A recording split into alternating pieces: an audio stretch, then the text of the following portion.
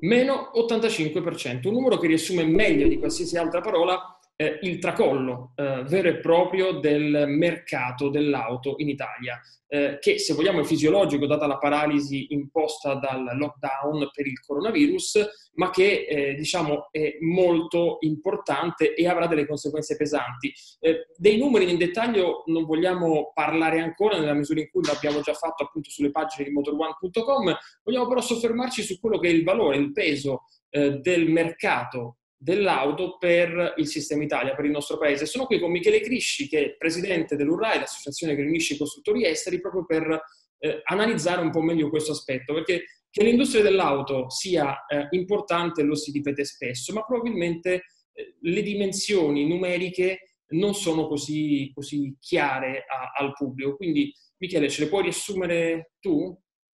Ma sì, eh, secondo me ci sono due valori importantissimi che sostanzialmente delineano la, la centralità del, del, mondo dell'auto e dei trasporti in generale in un paese e in questo caso specifico in Italia. In Italia l- solo il valore della distribuzione eh, dell'auto con tutti i suoi addentellati eh, economici intorno pesa più o meno il 10% del PIL del nostro, del nostro prodotto interno lordo, quindi stiamo parlando di un valore enorme a fronte del quale peraltro si genera un un, un gettito per, per, le casse dello Stato di circa 80 miliardi eh, di euro all'anno, quindi un settore che oltre a essere centrale, perché lo ha dimostrato anche in queste ore, in questi giorni drammatici,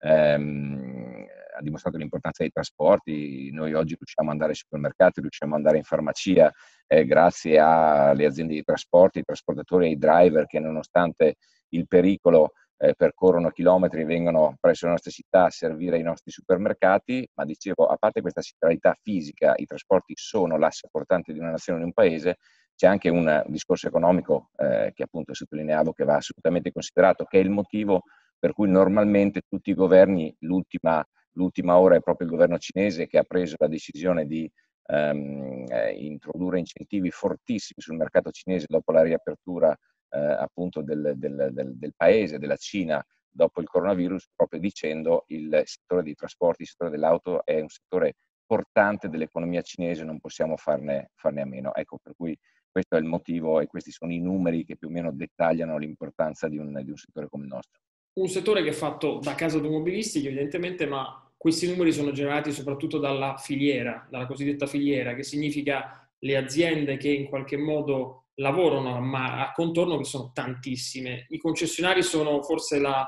la rappresentazione più facile da capire per il pubblico. Ecco, il concessionario è anche la catena, eh, diciamo, è, è, è l'anello della catena eh, più debole di tutti, che in questo momento eh, soffre, eh, soffre, di più e c'è un problema di liquidità. Su questo eh, come eh, ci si sta muovendo? Ma ci si sta muovendo, direi, nella direzione giusta al momento, giusto per, per dare un'idea di, di, cosa stiamo parlando. I concessionari in Italia sono circa 1500,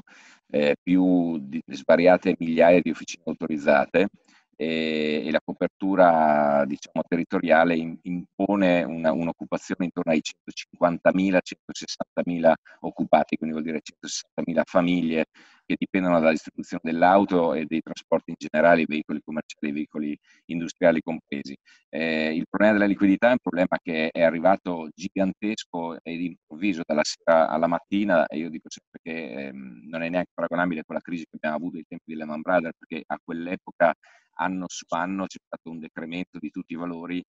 eh, economici, finanziari e, e, di business in generale fino a toccare livelli bassissimi, ma questa volta eh, il tutto è successo sostanzialmente dalla sera alla mattina, quindi la crisi di, di liquidità si è venuta a generare immediatamente da 100 a 0 eh, i nostri concessionari e noi, perché non ci dimentichiamo che anche noi facciamo parte della catena di distribuzione, sostanzialmente non stiamo fatturando auto da circa un mese eh, e da quello che risulta probabilmente non fattureremo auto neanche per questo mese, quindi per il mese di aprile nella migliore delle ipotesi. La crisi di liquidità è quindi drammatica perché a fronte di una totale assenza di fatturato ci sono invece i costi, i costi finanziari, i costi del personale, i costi delle spese generali, i costi tributari. Quindi quello che noi chiediamo e penso che mh, da quello che capisco, insomma, eh, sarà recepito dal governo, è una, eh, un intervento importante dal punto di vista della liquidità, un intervento ehm, che dia una facilità d'accesso al credito alle aziende, in questo caso alle aziende concessionarie, e che dia la possibilità eh, che questo credito sia garantito naturalmente dal, dallo Stato e che sia restituibile eh, diciamo, nei prossimi 5-10 anni con, con interessi assolutamente accettabili. Questo è un tipo di liquidità fondamentale eh, perché non avrebbe, non avrebbe, nessun valore riuscire a trapassare questo momento di crisi per poi trovarsi senza operatori e senza famiglie e, senza, e, con un numero di disoccupati molto molto più alto e con famiglie in, in grande sofferenza. È chiaro. Eh, voi avete fatto anche delle proposte eh, di eh, aumentare la soglia dei cosiddetti eco bonus, degli incentivi, ampliarli, ne abbiamo, riparlato, abbiamo parlato anche di questo, insomma trovate l'articolo, questo lo dico a chi ci guarda, insomma il link in, so, in sovrimpressione nella descrizione del video, eh, quindi un aumento diciamo delle, delle auto che possono essere interessate all'eco bonus e quant'altro. E avete fatto anche due scenari che adesso magari andiamo in grafica in sovrimpressione eh, di come si potrebbe muovere il mercato dopo il lockdown, no? uno scenario un po' più positivo, uno scenario eh, meno, eh, meno, negativo, cioè peggiorativo e uno meno, meno negativo. Ehm, però la, la, cosa che mi sfugge, che probabilmente è dif- a cui è difficile dare una risposta, è se eh, secondo voi ci sarà e come cambierà la domanda di automobili, perché si parte dal presupposto che il mercato si possa riprendere, no? grazie appunto a questi interventi, questi, questi, queste agevolazioni più o meno forti anche sul comparto dell'auto aziendale. Però se, se ci sarà una recessione, ci auguriamo tutti, eh, non, non, troppo forte, eh, ci sarà un, impover- un, po- un impoverimento del, della, del mercato tendenzialmente. Quindi Secondo voi questo come potrebbe influire sulla scelta dell'auto, sulla scelta dell'auto nuova, eh, sulla scelta eventualmente di altre eh, tipologie di auto, altri canali? Si potrebbe potenziare ad esempio il mercato dell'auto usata? Eh, avete, qualche, avete già fatto qualche previsione da questo punto di vista? Beh, sicuramente eh, consideriamo che in tutto questo la logistica avrà un peso, questo naturalmente va considerato perché è vero che cambieranno i gusti dei clienti, ne parliamo tra, tra un attimo, eh, eh, però resta, resta, resta il fatto che quello che i concessionari potranno immediatamente vendere e immediatamente fatturare è sostanzialmente quello che hanno in stock perché eh, ahimè a fronte della chiusura del lockdown in Italia ci sono stati anche tutti i lockdown in Europa dove eh, dove ci sono le nostre fabbriche, quindi dalla, dalla, Germania alla Francia, alla Svezia, all'Inghilterra, le fabbriche sono state chiuse ovunque, anche negli Stati Uniti, eh, fortunatamente hanno riaperto quelle, quelle cinesi, eh, però è chiaro che eh, si sa che quando poi riaprono le fabbriche, le fabbriche riaprono non a pieno regime semplicemente perché i suppliers devono prima ehm, arrivare a pieno regime loro, in modo tale che poi le fabbriche di assemblaggio arrivino anche a pieno regime, quindi ci sarà un ulteriore piccolo delay nel portare nel mercato italiano le macchine che erano in costruzione, che saranno in costruzione nei prossimi mesi. Quindi ci sarà lo stock, lo stock che, per, che per, peraltro sarà diventato pesante e anche sarà stato, si, si, si comporrà anche di auto usate. Quindi da un lato l'offerta sarà quella, eh, la domanda eh, certamente potrebbe cambiare, potrebbe cambiare perché comunque la sensibilità verso le nuove motorizzazioni mh, aumenterà, però aumenterà in ragione del fatto anche del costo di queste nuove, di queste nuove tecnologie. Questo è il motivo per cui noi abbiamo chiesto di introdurre una terza fascia ehm, relativamente alla CO2 per poter introdurre all'interno del piano degli incentivi delle vetture che abbiano dei costi un pochino più limitati. Io credo che il pubblico sarà molto interessato anche ai sistemi finanziari d'acquisto, perché non, ricordiamoci che la liquidità non è solamente un problema dell'impresa, ma è un problema anche del, del cittadino, del privato, quindi ovviamente i sistemi finanziari saranno molto importanti, potrebbe sicuramente prevalere in futuro ancora di più la scelta di avere un costo un costo d'uso piuttosto che un, piuttosto che un prezzo d'acquisto, che ovviamente comunque sia, parliamo di valori sempre impegnativi a seconda delle tasche delle singole persone, delle singole famiglie, però è evidente che un costo di utilizzo, che sia una forma di noleggio, che sia una forma di abbonamento, che sia una forma eh, diversa, però potrebbe essere preferibile. Quindi è ben possibile che il mercato per un periodo si sieda verso valori un po' più bassi in termini di prezzo, per poi ripartire. Questo è il motivo per cui abbiamo anche chiesto un, un, un pareggiamento del, del, dei regimi fiscali con l'Europa ed è assolutamente possibile che ci sia una, una richiesta di sistemi di finanziamento e di noleggio che permetta al cliente di avere dei costi mensili più bassi. Però credo anche che eh, comunque il trasporto su gomma eh, per lunghi mesi alla fine della crisi sarà il trasporto eh, prediletto eh, dagli italiani. Ricordiamoci sempre che ehm, per lungo tempo dovremo probabilmente eh, avere delle accortezze, mettere la mascherina, mantenere le distanze rispetto alle persone con cui socializziamo e sicuramente la vettura in questo caso sarà sicuramente preferibile rispetto a altre tipologie di trasporto, mi riferisco ai treni o agli aerei, quindi se non altro in un raggio di percorrenza accettabile la vettura tornerà ancora più centrale di prima. Su questo sono d'accordo e c'è un, una sorta di paradosso, cioè una domanda aumentata di automobili, avremo più macchine in giro, probabilmente anche più traffico purtroppo e sotto certi aspetti anche più inquinamento, eh, perché come dicevi tu eh, si, ut- si, utilizzerà un mezzo di trasporto più individualista e in cui ci si sente più protetti, però bisogna matcharlo con questo impoverimento eh, che potrebbe essere purtroppo la conseguenza